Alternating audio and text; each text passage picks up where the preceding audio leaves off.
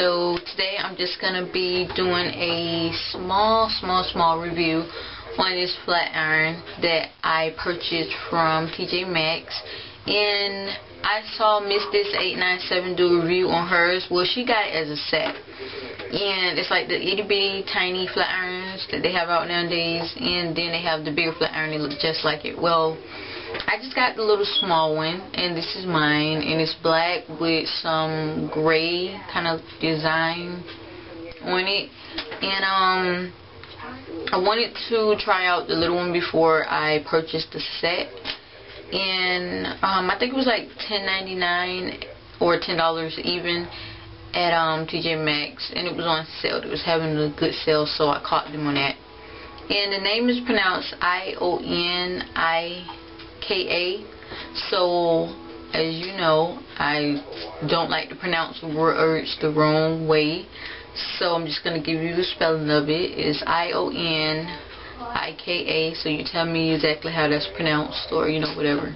But anyway, this is it. And, um, it doesn't have a temperature gauge where you can go from high to low.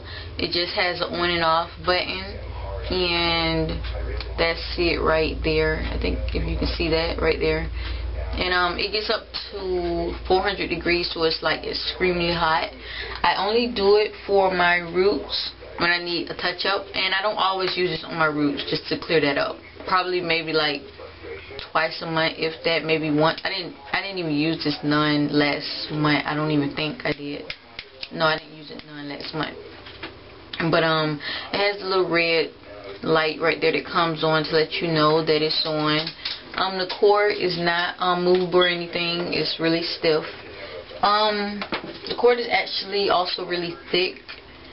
So I'm guessing it has to be thick because this is like really tiny and for all that electricity to shoot through here to get it up to 400 degrees, it has to come with a pretty huge cord. Bigger than um, a regular size flat iron cord actually. Um, yeah, I don't think these little silver button look um type things here. They they don't do anything or whatever. And um yeah. Also this is extremely hot. So you can handle it from right here on down and it's cool. But from this part right here on up it's like really really hot. Unless you can really deal with heat, you can't hold this, you know, unless you just go with heat like that. But um, I'm just going to do a little review on how I would straighten out my roots and how good it is so you guys can actually see how it works.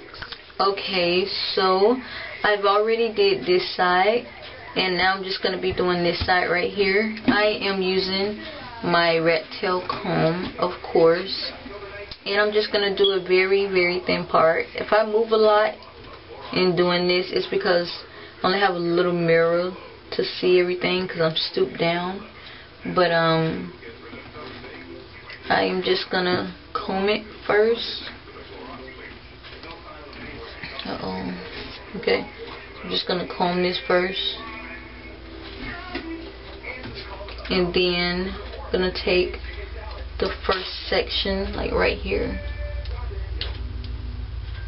to demonstrate and what I do is take it to my root and I hold down on it for like maybe like a few seconds.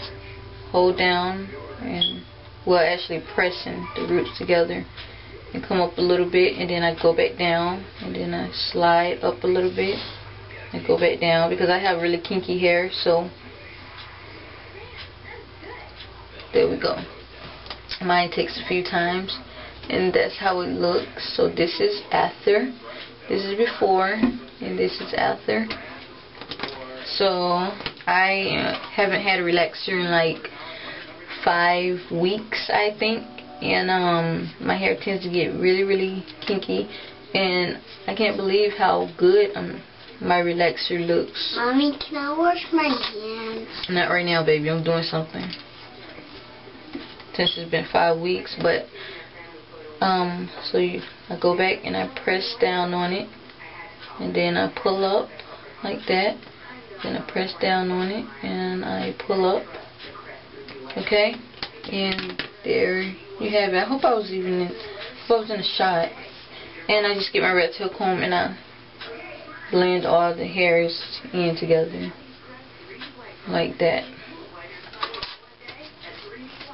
Okay, and that is how I usually do it. Okay, so that was my very, very short review on how I would use that. Like I said, I only use it for my roots and it is not a constant thing I do because it's like extremely hot. So you don't actually want it to burn your hair.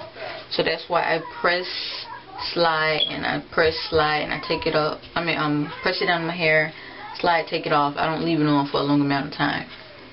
But um, yeah, that is what I do when my relaxer is to the extreme or to the max.